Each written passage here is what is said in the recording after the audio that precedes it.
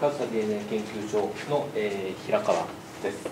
えー、私は、えー、現在、えー、植物ゲノム情報研究室に、えー、属しているんですが、えー、その、えー、病原性細菌についての研究も進めています。で今回は、えーまあ、微生物の、えーまあ、微生物は多様な病原性を持つものがいるんですが、まあ、その病原性に関連する、えー、遺伝子群のを、えー、情報学的な手法を使って探索すると。いうことについてお話しします。で、えー、黄色ブドウ球菌は、えーまあ、先ほどもあのお話があのあったのですが、えーまあ、グラム陽性細菌でありまして、えー、我々のあの鼻のこの、えー、入り口やですね鼻の、えー、鼻腔や、えー、我々の皮膚に、えー、定着していますで、えーまあ、これはまあ常在菌なんですが、まあ、常在菌というのは、まあえーまあ普段、健常人に、まあ、皮膚になどさまざ、まな部位に定着して、まあ、生息しているんですが、えーまあ、我々に対しては病気を引き起こすという、えー、菌です。しかしこのスタフィロコッカス、えー、オーレス、えー、黄色ブドウ球菌は、スタフィロコッカス属の中では、最も病原性が高いと言われています。で、えー、例えばこの黄色ブドウ球菌が、まあ、普通、えー、皮膚に存在するんで生息しているんですがまあ、それが、あまあ、皮膚の表層において、まあ、傷とか、え変性があったりするとあり、まあ、そこに、えー、黄色ブドウ球菌が付着すると増殖増殖して、えー、可能層を形成する。で、えー、その後、えーまあ、組織内に侵入して、まあ、人々のあ人体の種々の防御機構に打ち勝って人体内で増殖するという、えー、ことを、えー、が、えー、可能な、えー、ものです。で、えー、またこのスタフィロコッカスオレウスは、えーまあ、多数の病原性、えー、毒素のデパートと呼ばれるほど、えー、多数の病原因子を持っており、まあ、それに伴って多様な病原性を示します。また、えーまたえー、多多彩な薬剤に対する耐性を持っておりまして、えーまあ、メチシン耐性を持つ MRSA といったようなものが、まあ、院内感染の、えーで、まあ、重要な問題となっています。また、院内感染と対比しまして、え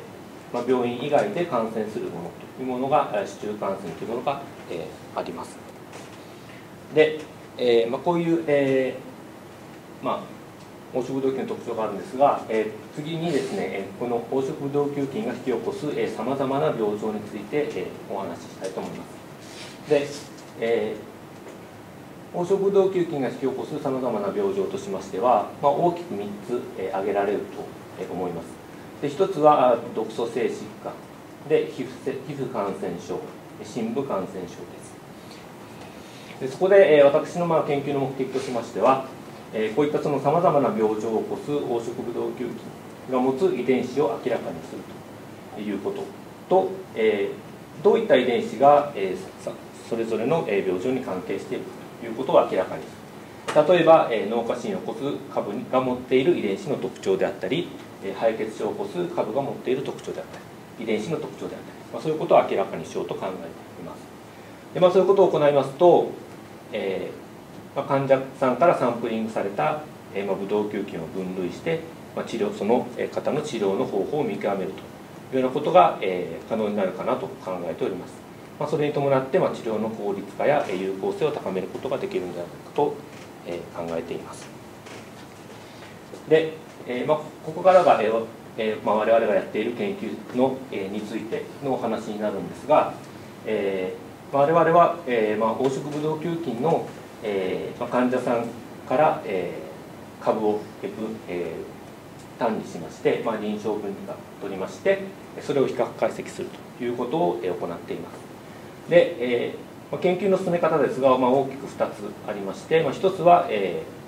ー、ベッドの実験ですね。これはあの広島大学の菅井先生がさまざまな病状の患者さんから、えー、黄色ブドウ球菌を単にされあります、えー、収集されています。で、えー、そして、えーまあ、ウェットの実験としましてはマイクロアレイ実験を行っています。で私の方は、えまあ、この、えー、ウェットの実験から得られましたマイクロアレイ実験の、えー、データを使って、えー、情報解析を行っています。で、えーまあ、マイクロアレイデータの解析を行っているんですが、まあ、実際にはアレイ CGH 解析というものを行っています。でこの RACGH で CGH データに対するクラス識別という方法を行って、えまあ、各、まあ、各病状に特徴的な遺伝子群というものを探索しています。でまずこちらの実験の方からお話しします。でさまざまな、えーまあ、先ほど最初にお話ししましたような、まあ、黄色ブドウ球菌が、えー、引き起こすさまざ、まな病状があるんですが、まあ、その、えー、患者さんから、えーまあ、3000の株を、えー、まず、えー、単理してきました。でそれぞれの株に対しましてパルスフィールド電気映像 PFG を行った後にえまこれがまあこういうこういう、えー、ゲル電気映像の結果が得られるんですがまこれをコンピューターで読み込んで読み取ってえその切断パターンをえ数値化してその値をもとにえクラスタリング解析するということを行いますとまこれが3000株なんですが3000株についてのえクラスタリングを行うことができます。で、えーまあ、我々が得ている結果というのはえ今のところ41のクラスターに分ける分けることができると。いう結果を得ています。で、え、3000株をまあ得ているんですが、え、3000株、まあ、我々がしたいことは、え、ゲノム全体、え、黄色ブドウ球菌のゲノム全体の、え、遺伝子のあるなしと病状との違いというのを関係を見たいので、えーまあ、3000株についてはちょっと数が多いのでその中から、え、ランダムに176株を、え、選出しました。でその176株の、えー、病状と、えー、採取された部位と感染場所というものを、えー、内訳をここに書いてあります。で、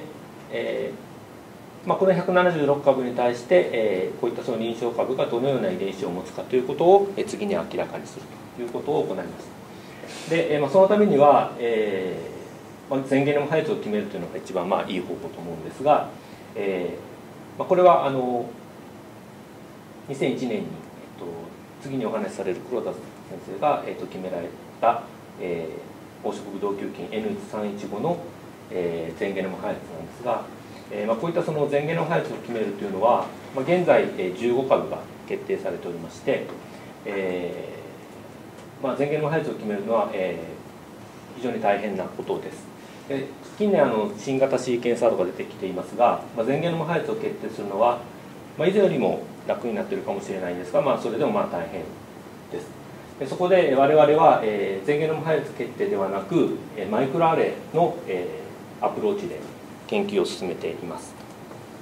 でそのために、えー、まず、えー、こういった、えー、スライドガラス上に、えー、DNA を cDNA を貼り付けるというマイクロアレイを、えー、作成しましたでこれはあの、えっと、九州大学の方にあのスポッターがありますのでそれを使って、えー、マイクロアレイを作成しましたでこのマイクロアレイは、えっと、各スポットは、え、各、えーまあ、宝飾病圏2600くらい遺伝子があるんですが、まあ、それぞれの遺伝子に特異的な塩基配列を探し出してその塩基配列を cDNA 化してそれを貼り付けています。で、まあ、スポットとしましてはあ2656スポットありまして、まあ、プローブとしては MW2 株を用いました。で、えーまあ、このマイクロアレを使って、まあ、各臨床分離株における遺伝子のあるなしを調べるという RACGH 解析を行いました。で、えー、RACGH 解析がまあどういうものかというものをここにスライドにしています。で今あの我々が作成している黄色ブドウ球菌というものは MW2 株をプローブとして貼り付けているものなんですがこのためまずコントロール株としては MW2 を用います。でこちらの方サンプル株としましては患者さんから採取しました臨床分離株を使います。でこれらのハイブリを行うんですがまずコントロール株からま DNA を抽出して断片化してランダムプライマルによって増幅してサイズリーで標識をつけます。でサンプル株の方は同じく DNA 抽出して断片化してランダムプライマルによって増幅して今度はこちらはサイ5です緑色のサイ5を付加します。でこれらのハイブリダイゼーションをこのアレイ上に行うということを行います。でそうしますと、えー、これ遺伝子のあるなしを調べますので、えーサンプル株も遺伝子を持っている。こちらに貼り付いているのは MW2 の遺伝子ですので、えー、サンプル株でも遺伝子をこれらの遺伝子を持っているものというものは、赤も緑もどちらも配分するのでそれが赤と緑が合わさって黄色にで、赤の方は光るんですが、えーま、基本的に、え、これは MW2 を貼り付けるので光るんですが例えば、え、サンプル株で遺伝子がないというものがあるとこの緑色がないのでその遺伝子は赤く光ったままということになります。でまた、え、サンプル株の方が、え、遺伝子が多いというもの、ま、これはあの DNA を貼り付けるんですが、えー、サンプル株の方が遺伝子が多いということがあ DNA 量が多いという場合には緑の方が多くなって緑色に光るということになります。で、まあ、このようにして、まあえー、ハイブリダイゼーションしてスキャニングすると、まあ、こういったような、えー、画像を得ることができます。でこれを、まあ、数値化する蛍光強度を数値化しますと各遺伝子に対する、まあ、これはプローブなんですが遺伝子に対するコントロール株の蛍光強度とサンプル株の蛍光蛍光強度が得られることになります。実験はここまでなんですがこの後に情報解析を行うことになります。ここから私があのやあの行っていることなんですがになるんですが、えーま、スキャニングして、えー、蛍光強度が得られますと、まあ、それを補正しまして、えー、コントロール株とサンプル株間の違いというものを調べます。で違いをどうやって調べるかといいますと、えー、レシオですね、えっとまあ、サンプルの蛍光強度をコントロールの蛍光蛍光強度で割ったものなんですが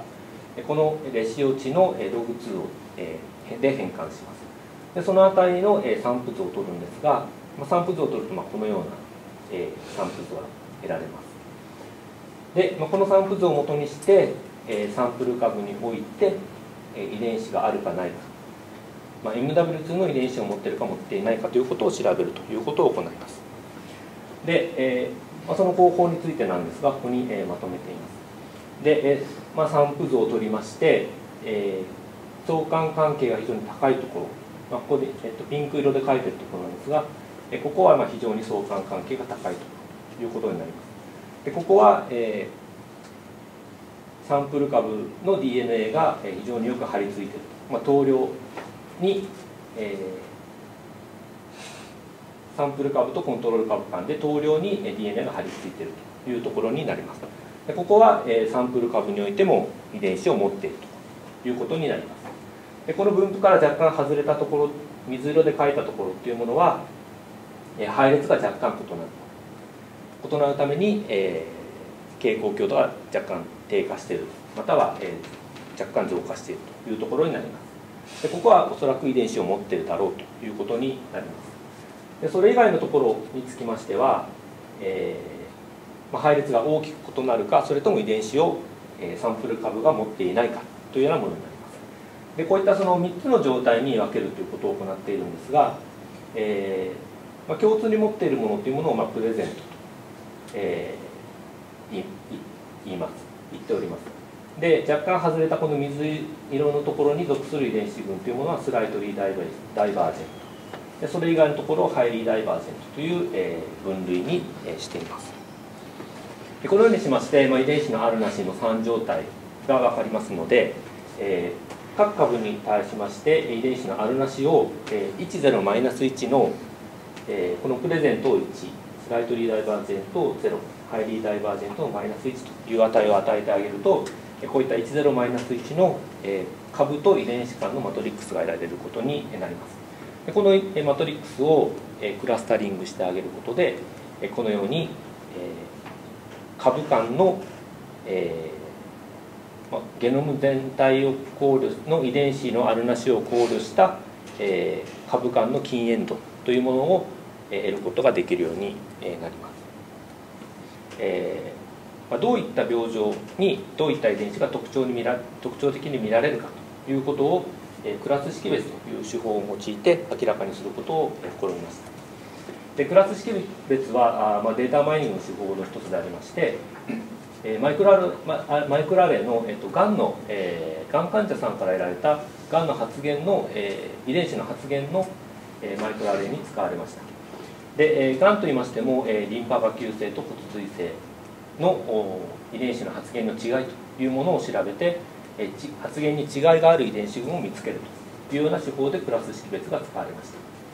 でまたこのクラス識別はさらに、えま、どういった遺伝子が発現していれば、え、手術後の経過が良いか悪いかということを予測するような、え、予後予測にも使われています。でこの、え、クラス識別というものを黄色ブドウ球菌の解析に、え、使ってみました。でこのクラス識別の手順なんですが、まあ、アレイデータからスケーリングして正規化します。で各株の、えー、性質ですね。例えば、まあ、院内感染とか市中感染といったような性質、まあ、性質のことをクラスというんですがその、えー、クラスを定義します。でこのえ遺伝子とその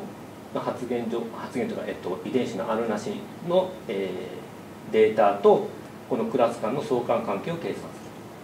で、えーまあ、これはあの後ほどお話ししますが、まあ、遺伝子を順に並べるという gene ranking や並び替え検定を行う、えー、 permutation permutation test や遺伝子を選択する gene selection、まあ、こういったものを行っていきます。でこの後に、まあ、識別器というのを構築するんですが、まあ、ここまでは現在行っております。でクラス識別についてなんですが先ほどお話ししたんですが、えーまあかまあ、この A というのは、まあ、それぞれをまあ株としますと各株における、え、その性質ある性質に着目して、まあ、これは、え、2クラス識別なんですが、え、院内感染と市中感染といった2つのクラスにを識別するという定義なんですが、え、例えばこちら側が院内感染こちら側が市中感染といったように、え、2つのクラスに分ける分けます。でこの数値はまあ傾向強度になるわけなんですが、え、この、え、クラス A と B 間で、えー、この傾向強度が、えー、差があるもの差が大きいものというものが、えー、それぞれのクラスで違いがある遺伝子群ということになります、まあ、そういった遺伝子群をまあ見つけるということを行うんですがそのためにまあこういう、えっと、簡単な式を使います。これはシグナルノイズ比 SNR というもので、えーまあ、定義はこういう式です。で2群間の、まあ、ここに例を書いてるんですが2群間の平均の差ですね。A 群の平均と B 群の平均の差の絶対値をクラス A 内のばらつきとクラス B 内のばらつきの和で割ってあげると、まあ、この計算式をで、え RI の値を計算してその値を各遺伝子について割り当てると、まあ、このようになりますで、え、このえ、値の大きいものから順に並べていくのがジンランキングと言います。なので上位にあるあるあるほど、えー、A と B の差が大きいという遺伝子になります。で次に並び替え検定を行うんですが、まあ、本当にこれが正しいのかということを、えっと、この A 群と B 群をランダムに並び替えましてで同じように、えー、シグナルトゥノイズレシオの値を計算 RI の RI の値を計算します。でこれを、えー、私はもうこれ1000回並び替えを行って、まあ、それぞれの遺伝子についてのこの RI の値の分布を計算します。で、えー、元最初にあったこの R 値 RI の値が、えー、この前回の並び替え後の分布から外れているかどうかということを検定します。で、えー、優位性がまあ0.01、えー、未満というものをえー、満たす遺伝子群というものは分布から外れていると。すなわち、えーまあ、ランダムではない。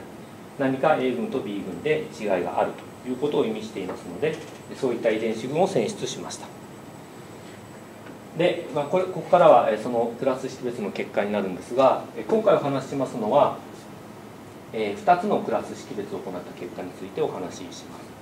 一つは、院内感染と市中感染間の、クラス識別。でもう一つは脳下芯飛び火と 4S を起こす株の、クラス式です。で、えっと、まず院内感染と市中感染についてなんですがでこれがまあその結果なんですが、え左側が院内感染株に特徴的な遺伝子、えっとまあ、これが全遺伝子なんですが、まあ、その中からあ、まあ、優位性0.01で取りましてで、えーまあ、ここでちょっとまた色が違うんですが赤色が遺伝子を持っているもの。青色が遺伝子を持っていないもの、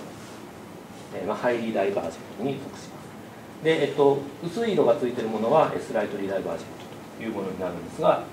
えーまあ、これを見てみますと、えー、横軸がこれは、えー、株になる176株になるんですが、えー、このクラスターは院内感染。ここも院内感染。こことここが市中感染ということになります。でこの中からまあ優位性0.1で取ってきますとこのような、えー、75個の遺伝子を抽出することができました。すなわち、えー、院内市中感染株になって院内感染にあるという遺伝子群が抽出されています。でその遺伝子がまあ72個ありました。でこちら側は市中感染株に特徴的な遺伝子群でありまして、えー、今度は、えー、市中感染株にあって院内感染株にない遺伝子群というものが、えー、有差0.01で取れてきています。で個数は98個ありました。でえこちら次に、えー、脳下芯と 4S 間のクラス識別の結果についてなんですが左側が、えー、脳下芯に特徴的な遺伝子群を有意差0.01で取ってきたものです。で個数は100個あります。で、えー、右側が、えー、4S に特徴的な遺伝子群で、えー、やはり0.01で取ってきますと93個抽出することができましたで、えっとまあ、このようにして、えーまあ、マイクロアレを使った、あのー解析を、えー、しておりましてで、えーまあ、マイクロアレイを使って RACGH 解析すると、えーまあ、各株における遺伝子のあるなしと、まあ、病状の関係が見えてくるんですが、えーまあ、そのマイクロアレイを使うという研究のまあ利点としましては、まあ、非常に安価で、え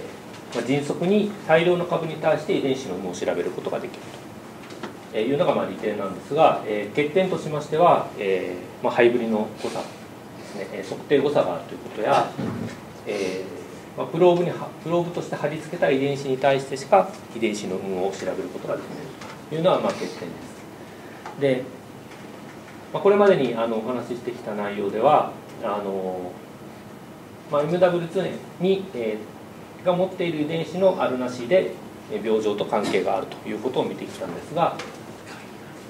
えーまあ、それ以外に、まあ、マイクロアーレはこの MW2 が持っている、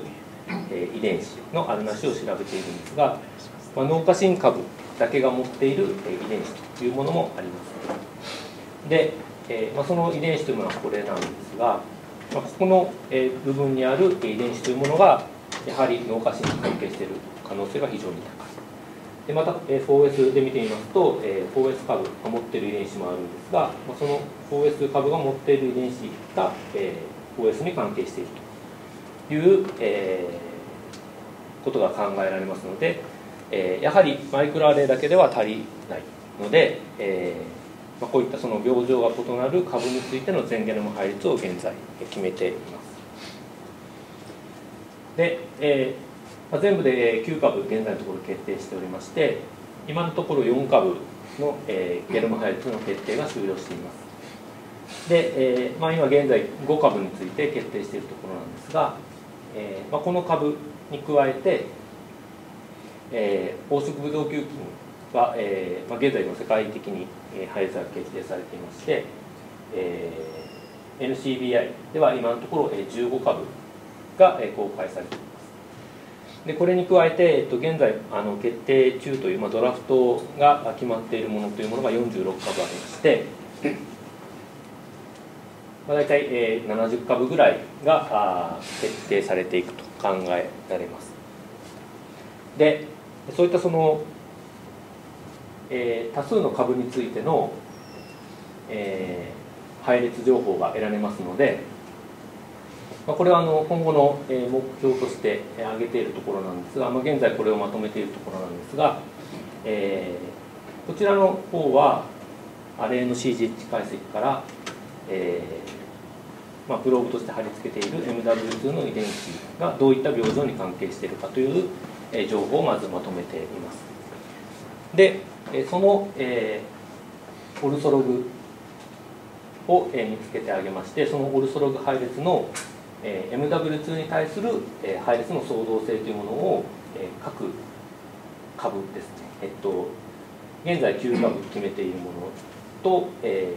データベースに公開されている15株を、え横に並べていきましてでその、えオルソログの配列の創造性というものを調べていきます。で、え例えばなんですが、えー 4S に、え特徴的な遺伝子群として、まあ、G5 というのがあればその遺伝子が例えばこの OS 株だけで低くなっているというようなものがあればこれは OS に関係してあろうというようにしてこういったその病状と配列の相動性との相関関係というものを今後調べていきたいと考えています。でまたこれだけではまあ先ほどお話してきたように、マイクロアレイだけでは不十分ですので、えーまあえー、全ゲノム情報を使って、えー、各株が持っている、えー、遺伝子についても、えー、相関関係を調べていきたいと、えー、考えています。で、えーまあ、ッドの、えーえー、マイクロアレイの株のサイズと、えー、マイクロアレイの実験は、えー、広島大学の先生と、えー、菅井先生、加藤先生、藤原先生と、えー、鹿児島大学の、えー、小松沢先生に、えー、ただきました。また、マイクロアレイの作成につきましては、九州大学の桑原先生と柏先生にいただきました。以上です。